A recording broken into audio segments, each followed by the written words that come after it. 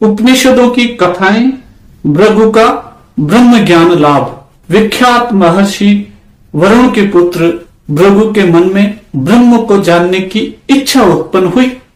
वह अपने पिता वरुण के पास गया और बोला, भगवान, मुझे ब्रह्म विद्या की शिक्षा दीजिए, जिससे मुझे ब्रह्म तत्व का पूर्ण ज्ञान प्राप्त हो जावे।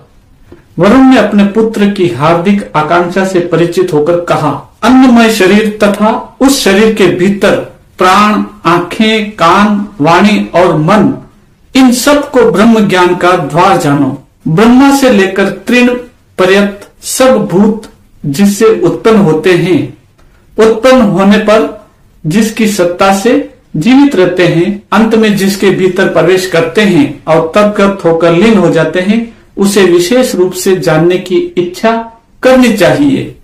भृगु ने जब अपने पिता से इस प्रकार की बात सुनी तो वह ब्रह्म का ध्यान करने के उद्देश्य से तप करने लगा। तप करने पर उसे यह बोध हुआ कि अन्न ब्रह्म है, क्योंकि अन्न से ही सब प्राणी उत्पन्न होते हैं। अन्न से ही जीवन धारण करते हैं, और फिर अन्न में ही जाकर प्रवेश करते हैं। जब उसे ये ज्ञान प्राप्त हुआ तो वो फिर अपने पिता महर्षि वरुण के पास गया और बोला, भगवान, मुझे ब्रह्म तत्व की शिक्षा फिर से दीजिए। पिता ने कहा, इंद्रियों की बाहरी वृत्तियों को भीतर की ओर करके तप द्वारा तत्व चिंतन करो। तब से ही ब्रह्म ज्ञान की प्राप्ति हो सकती है। भृगु ने जब यह सुना तो वह फिर तप करने लगा।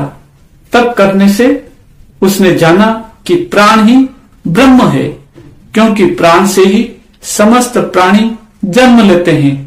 प्राण ही के द्वारा जीवन धारण करते हैं और फिर प्राण ही में जाकर लीन हो जाते हैं। इतना जान लेने के बाद वह फिर अपने पिता वरुण के पास गया और बोला, भगवान, मुझे ब्रह्म विषय की शिक्षा दीजिए।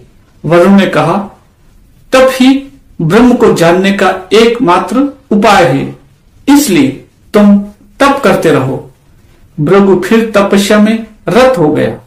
तपस्या करने पर उसे यह बोध हुआ कि मन ही ब्रह्म है और मन से ही ये सब प्राणी उत्पन्न होते हैं। मन ही के द्वारा वे जीते हैं और मन ही में जाकर विलीन हो जाते हैं। इतना ज्ञान प्राप्त करने के पश्चात वह भृगु फिर अपने पिता के पास गया और बोला, भगवान, मुझे ब्रह्म विद्या की शिक्षा दीजिए। वरुण बोले, सौम्य तपस्या द्वारा ही ब्रह्म को जाना जा सकता है। इसलिए तुम निरंतर तप करते चले जाओ। भृगु फिर तपस्या करने लगा।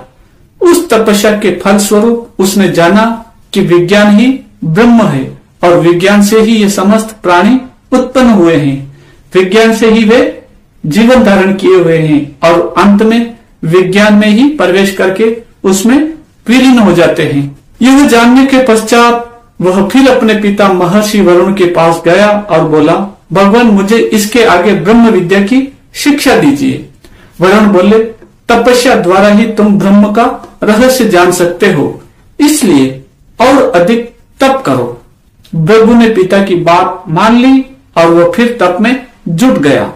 तप करते करते उसे बोध हुआ कि आनंद ही ब्रह्म है और उसी से इन सब प्राणियों की उत्पत्ति होती है। उसी के द्वारा सब प्राणी जीवन धारण करते हैं और अंत में उसी में जाकर विलीन हो जाते हैं। वरुण द्वारा प्रभु ने जो यह ब्रह्म ज्ञान प्राप्त किया, वह परम अंतर आकाश में स्थित है।